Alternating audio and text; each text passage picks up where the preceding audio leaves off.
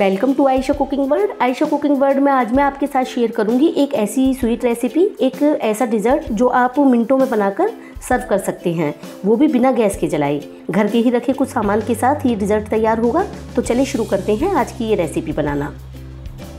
सबसे पहले तो हम एक बाउल ले लेते हैं और ये एक कप फ्रिज का रखा हुआ दूध ले रही हूँ मैं। बॉईल करके मैंने चिल्ड होने के लिए फ्रिज में रख दिया था।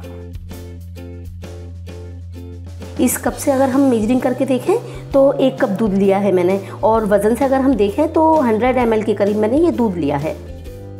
अब ये शुगर पाउडर भी ऐड कर देते हैं, चार टेबल स्पून चीनी को आप चाहें तो ऐसे ही ऐड कर दें, आप चाहें तो फाइन ग्राइंड करके ऐड कर दें। ज़्यादा टाइम लगेगा चीनी को घुलने में, इसीलिए मैंने ग्राइंड करके चीनी ली है, ताकि बहुत आसानी से ये घुल जाए और बहुत जल्दी से। बस इसको मिक्स कर लेते हैं। जब भी आप फ्री हो, चीनी को इस तरीके से पाउडर बना करके रख लें तो कोई भी रेसिपी बनानी बहुत ईजी हो जाती है। और कितनी जल्दी से ये चीनी घुल गई है, अगर हम चीनी इसके अंदर ऐड करते बिना ग्राइंड किए तो काफ़ी टाइम उसमें लग जाता घुलने में, इसीलिए मैंने पाउडर ऐड किया है। अब ये चार टेबल स्पून मिल्क पाउडर भी ऐड कर देंगे हम इसमें और मिक्स कर लेंगे। मिल्क पाउडर को आप बिल्कुल स्किप नहीं करें। इस रेसिपी का ये मेन इंग्रेडिएंट है।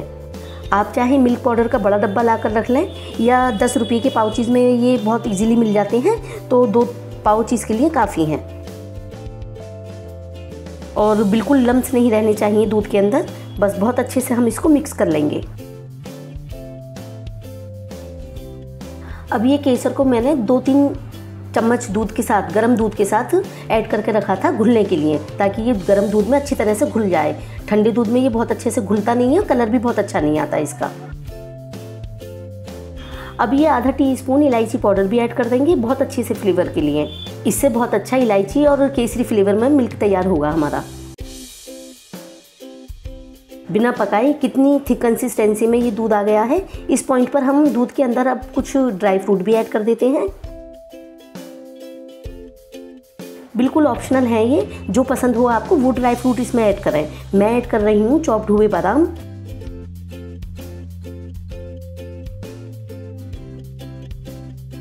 चॉप्ड हुआ काजू और ये पिस्ता चॉप्ड हुआ।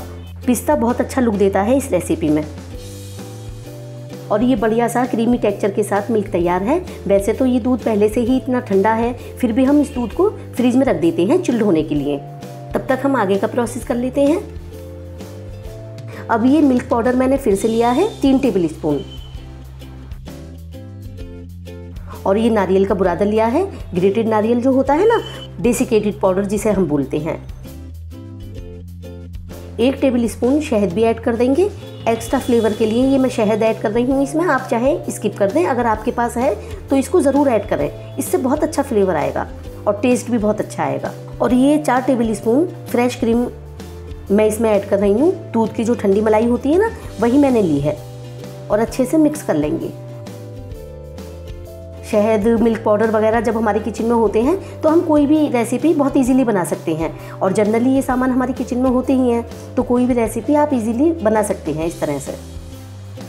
अब ये मैंने सात आठ के करीब ब्रेड स्लाइसिस लिए हैं। थोड़े मीडियम साइज़ के ही हैं मेरे पास ये स्लाइसिस आप चाहें तो बड़े वाले स्लाइसिस ले लें या छोटे स्लाइसिस में भी ये बहुत अच्छा बहुत अच्छी रेसिपी तैयार होगी। ब्रेड के ये किनारे कट करके अलग कर देंगे। मैं हमेशा अपनी रेसिपी में बताती हूँ, किनारे आप वेस्ट नहीं करें। इससे बहुत सारी रेसिपी बना सकते हैं आप। जैसे हलवा, आप इससे बना सकते हैं ब्रेड हलवा।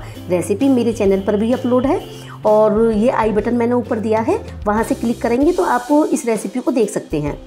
ब्रेड क्रम भी आप बना सकते हैं। इस ब्रेड क्रम की रेसिपी भी मैं आपके साथ बहुत जल्दी शेयर करूँगी। मेरी रेसिपी आप देखेंगे तो बहुत जगह आपको दिखेगा कि मैंने ब्रेड क्रम कितनी जगह यूज़ किया है। तो ये बहुत काम आता है, इसको बिल्कुल वेस्ट नहीं जाने दें।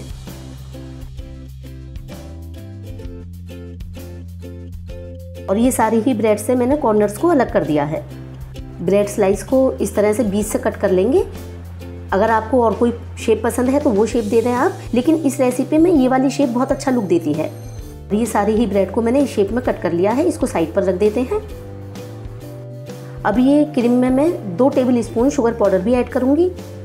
बहुत ज़्यादा मिक्स नहीं करेंगे इसको, बस लाइट हैंडली इसको मिक्स करेंगे। और ब्रेड स्लाइस पर इस तरह से स्प्रेड कर लेंगे क्रीम को। ये अच्छे से किनारे वगैरह पर ठीक तरह से स्प्रेड करेंगे।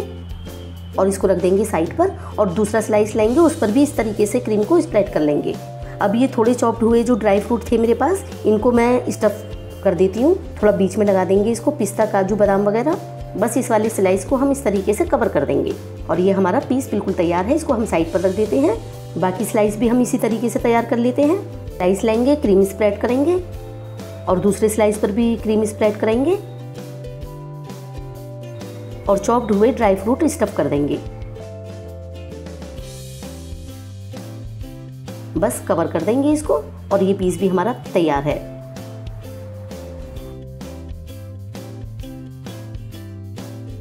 और ये लास्ट वाला भी कंप्लीट है। इसी तरीके से मैंने इसको भी तैयार कर लिया है और ये सारी ही स्लाइसेस हमारी बिल्कुल तैयार हैं।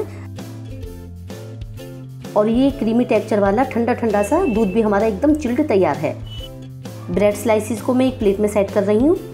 स्लाइसिस में थोड़ा गैप रखेंगे। जब हम इसको सेट करेंगे तो थोड़ा गैप करके सेट करेंगे, ताकि कॉर्नर्स वगैरह में दूध ठीक तरह से पहुँच जाए। आप दूध में ब्रेड स्लाइस को डिप करके भी प्लेट में सेट कर सकते हैं, या फिर आप इस तरीके से दूध को ऊपर से भी स्प्रेड कर सकते हैं, जैसे मैं कर रही हूँ। और ये ठंडा ठंडा क्रीमी टेक्सचर वाला, एकदम चिल्ड दूध को हम ब्रेड स्लाइस पर इस तरीके से सर्विंग स्पून से ऐड करेंगे। ठीक तरह से दूध को हम डालेंगे किनारे वगैरह पर।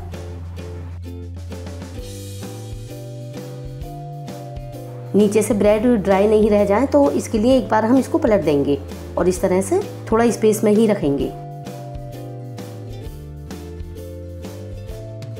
थोड़ा थोड़ा दूध स्प्रेड करेंगे किनारे वगैरह पर ठीक तरह से। जब भी कुछ मीठा खाने का मन हो तो सोचिए मत फटाफट से बनाइए। घर के ही रखे कुछ सामान से। जितने भी इंग्रेडिएंट मैंने इसमें यूज़ किए हैं, अक्सर हमारे घर पर होते ही हैं तो बस फटाफट से बनाएँ और इन्जॉय करें। और ये चॉप्ड हुए जो ड्राई फ्रूट हैं, वो भी मैंने ऊपर से स्प्रिंकल कर दिए हैं। अचानक से गेस्ट के आने पर मीठा बनाना हो या लंच और डिनर के लिए डिज़र्ट बनाना हो, फटाफट से ये रेसिपी इजीली बना सकते हैं। पहले से बनाकर फ्रीज में रखें टेंशन फ्री हो जाएँ। अगर आपने मेरे चैनल को अभी तक सब्सक्राइब नहीं किया है तो प्लीज़ प्लीज़ मेरे चैनल को सब्सक्राइब करें, लाइक करें, ज़्यादा से ज़्यादा शेयर करें। मिलती हूँ एक और रेसिपी के साथ। अल्लाह हाफिज़।